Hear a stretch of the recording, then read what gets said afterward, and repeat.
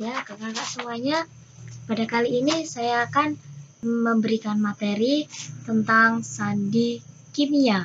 Ya mungkin uh, bagi kakak-kakak yang penggalang uh, sudah rakit dan ke atas itu sudah pernah dengar namanya sandi kimia.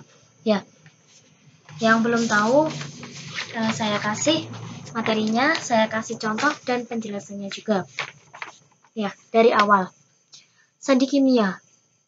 Ini memiliki kriteria, memiliki keterangan aturannya sendiri bahwa huruf vokal seperti a, i, u, e, o ini memiliki tanda titik. Kalau huruf konsonan seperti b, c, d, f itu tandanya strip yang nantinya tanda ini akan diterjemahkan di sandi Morse. Kita ubah dulu menggunakan sandi Morse baru kita terjemahkan ke huruf biasa. Nah, example, contoh. Di sini ada CO2. O-nya ada 2. Jadi kalau dijabarkan e, ini COO. Nah, C ini adalah huruf konsonan dan O adalah huruf vokal. Konsonan di sini tandanya adalah strip dan Huruf vokal tandanya titik. Berarti kita baca strip titik-titik. Strip titik-titik dalam sandi Morse adalah huruf D.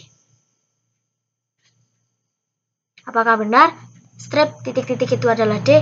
Kita coba. Ya. Saya punya kolom sandi Morse. Kita cek.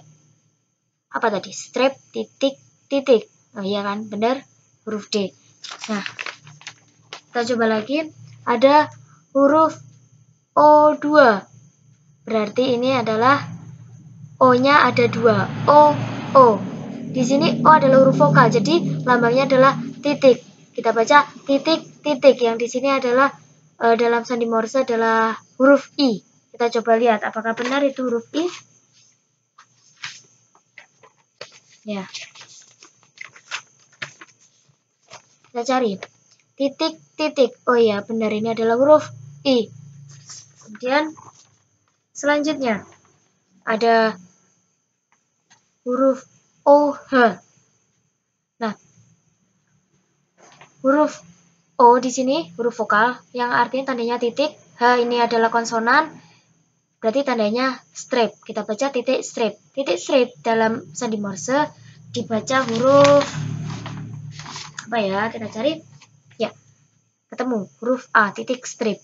Nah, begitu cara membacanya. Jadi uh, kita terjemahkan ke sandi Morse dulu.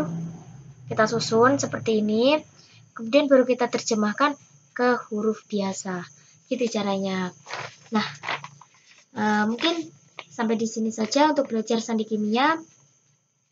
Uh, untuk kakak-kakak semoga bisa mengerti dari penjelasan yang saya berikan tadi dan bisa bermanfaat untuk kakak-kakak semuanya. Dadah!